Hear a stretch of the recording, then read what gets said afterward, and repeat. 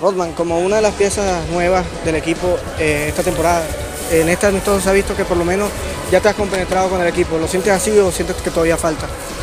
Pues yo creo que digamos llevamos un, camino bastante recorrido hasta ahora, pero, pero creo que falta mucho trabajo.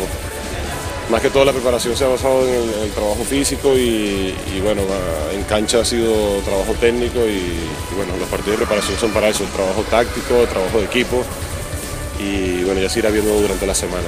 ¿Cuál crees que fue la fortaleza de Huracanes hoy?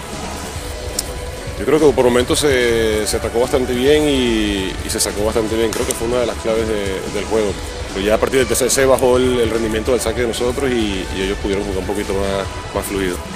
¿Y, ahora cuál sería el, el, área que hay que trabajar más?